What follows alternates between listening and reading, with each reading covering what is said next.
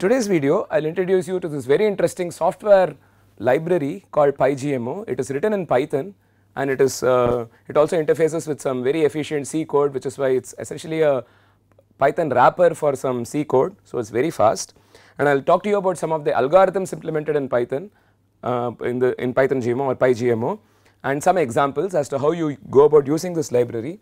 You will be interested to see that there are so many different kinds of flavors of evolutionary algorithms that are readily available in PyGMO which you can use immediately. And I will also introduce you to the concept of multi-objective optimization. So, what do you do when you have more than one object to worry about? For example, in our case it could be more than data from more than one experiment. How do you estimate parameters? I have told you different algorithms, but what tools do you use?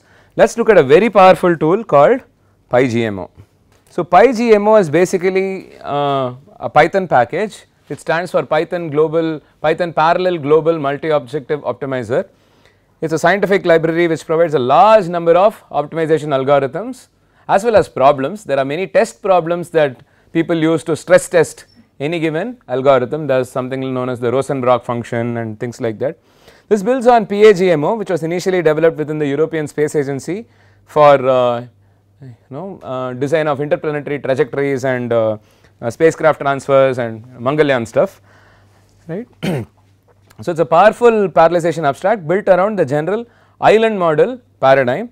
So, um, we will look at what this is. So, all algorithms are automatically pa parallelized to leverage multiple cores right. So, they are they work in basically islands. So, there is a generalized migration operator which allows the user to define migration paths between these parallel optimizers so, it is it is to say in some sense let us say you have 8 CPU cores you can run um, simulated annealing on one, DE on one, EA on 5 others, shuffle the solutions after a few iterations continue.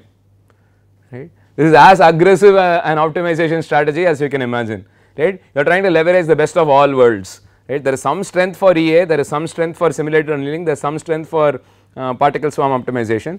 You mix and match all of these in whatever way you want right. So, PyGMO can be used to solve constrained, unconstrained, single objective, multi objective, continuous and mixed optimization problems. Uh, a, a slight detour, what do we mean by multi objective optimization?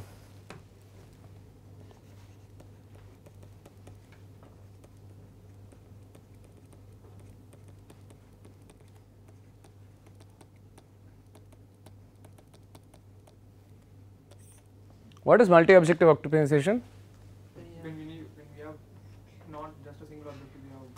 Meaning you have more than one cost function. cost function, right? So you may have E1 of theta and you may have E2 of theta. There are two different cost uh, functions. Maybe this comes from experiment 1 this comes from experiment 2 right and you may want to optimize jointly optimize them or separately optimize them. But the moment you have two objective functions how do you say what is the best solution? Because I have one objective function I would say give me the theta that minimizes E1 E of theta. Now the one that gives you low e, E1 may give you a high E2 and vice versa. So, you will have to start worrying about it. So, typical way is to plot it.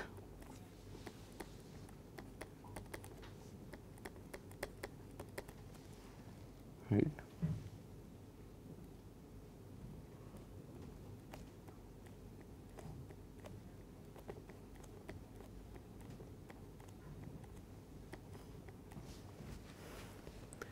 You may get something like this. And you may end up computing what is known as the Pareto front.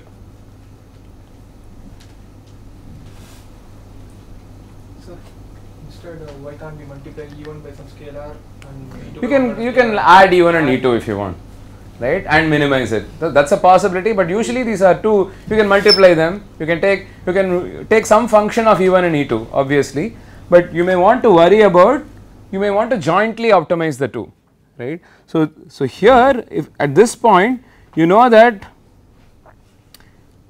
uh, you know you you got a very good value for both E1 and E2 right. So, if you go in this direction you will increase E2 if you go in this direction you will uh, increase E1 but at this point you have seemingly very good E1 and E2 values.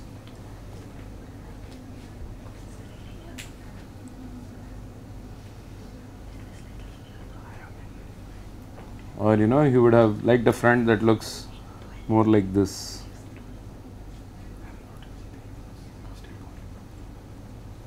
You, you can have different kinds of uh, fronts basically. So, if you have a, a different front the, op the optimization might look harder right. What if the points were all uh, you know distributed like this? Right? It becomes harder. So, but you can basically you may have to judge.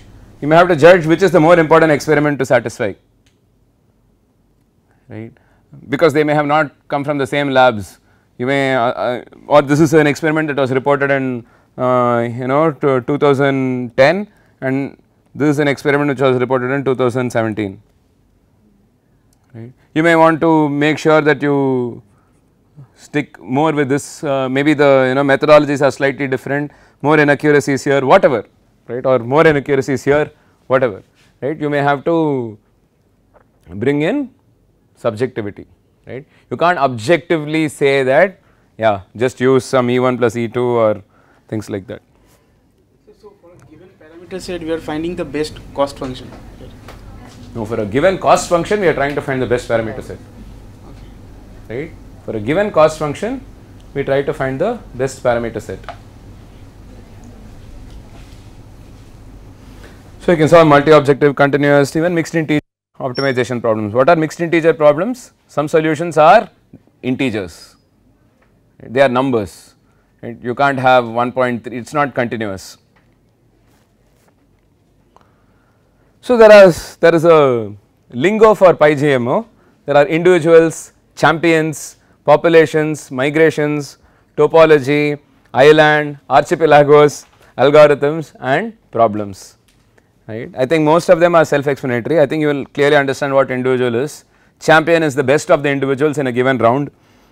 Population yes of course, migration is migration between different islands in an archipelago right. So, you set up multiple islands of optimizers and each island will have an algorithm which will run on a particular problem. You need to create a problem this is basically object oriented programming stuff. So, you need to define a problem class and so on and so forth. What are the algorithms? Nice assortment of algorithms. You have differential uh, evolution, self adaptive DE, DE with P best crossover. This is something we found to be very useful when we studied uh, a few bio models. Of course, particle, uh, particle swarm, swarm optimization and uh, simple genetic algorithm and uh, n plus 1 evolutionary algorithm or evolutionary strategy so on and so forth Monte Carlo search, CMA, covariance matrix adaptation evolution strategy and so on these are all popular uh, uh, algorithms and it also has a particular flavor of simulated annealing called Corana's uh, simulated annealing algorithm. There are a bunch of algorithms that are available and as simple as this to do PyGMO. And of course, you need to be familiar with Python, but if you are familiar with Python, it basically says from PyGMO import everything and problem this is a particular problem that is defined in PyGMO. This has to be replaced with your problem. You need to set up your parameter optimization problem here right and algo is algorithm dot differential evolution for 500 generations create 20 islands print island population champion function value. What is the function value of the champion in uh, the population of all in all islands right and so this is basically the initial value this is essentially saying print x naught. Now you evolve it for 10 generations or longer and you then you evolve it 10 times and then you, uh, you print the champion across all those epochs So, what can PyGMO do? It can scale easily to multiple CPUs, you can migrate solutions even between algorithms. As I said you can have DE, PD, MBX and just throw solutions from one to the other. So, so you create an archipelago with a ring topology meaning and each of these is seeded with an algorithm right. So, uh, there are i variants for differential evolution. So, you put variant 1 here, variant 2 here, variant 3 here, 4, 5, 6, evolve them for a while and then allow the algorithms to transfer their champions, transfer the information, continue to evolve. So, you can see that this is a really aggressive approach to parameter optimization, right. And you need to be this aggressive if you want to solve some really complicated complex um, uh, optimization problems. So, how do we go about in the case of biological problems? You design a problem, there are base problems defined in PyGMO. So, you build on that in classic object oriented fashion, you extend those definitions. The default is a minimization problem, maybe you can minimize the mean square error between data and fit parameters or use whatever objective function we have been talking about all along. Define a suitable algorithm with appropriate hyperparameters such as generations, number of individuals etc., etc. and then print the fitness and function uh, the, the parameter value of the champion or even other members of the final population above a fitness value. So, anything that is more than uh, less than 5 percent error you can print those parameters and then you can study these parameter spaces we will come to that in a moment right and it is super trivial to use multiple cores right. This automatically evolves across 10 parallel cores finished no work at all okay. and please check out the documentation here. There's the other tool called libRoadRunner this helps you directly connect with SBML right. So, all you have to do is import Roadrunner, roadrunner.roadrunner mymodel.xml simulate plot. So, this is where all your integration automatically happens. You want to connect this to PyGMO.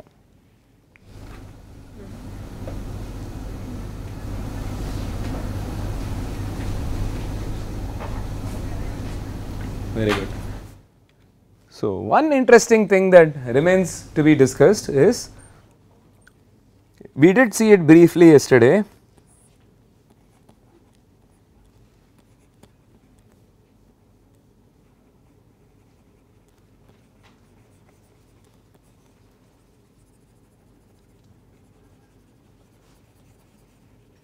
right. You have such parameter spaces, how do you study them right or how do you even find these parameter spaces. So, you may want to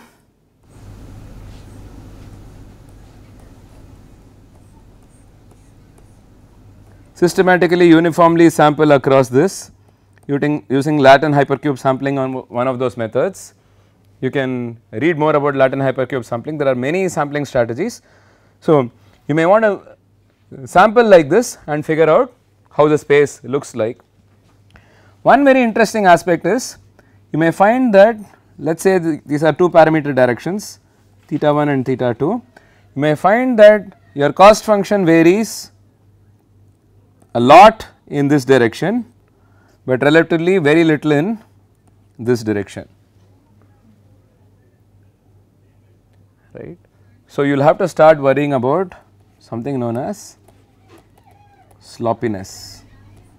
So, sloppiness is a you know, very important issue in biological systems. It has uh, fundamental implications uh, for how easily you can estimate parameters or with what reliability you can fit parameters. It depends upon the model to some extent on the data. It's it's quite complex, but it's a very interesting uh, topic. So, in today's video, I hope you got a nice introduction to the very interesting uh, software library API called PyGMO. It's written in Python but it is very efficient and very useful for performing all kinds of uh, you know GAs right or evolutionary algorithms in general. So, be it uh, differential evolution or genetic algorithms or evolution strategies and or even simulated annealing and so on.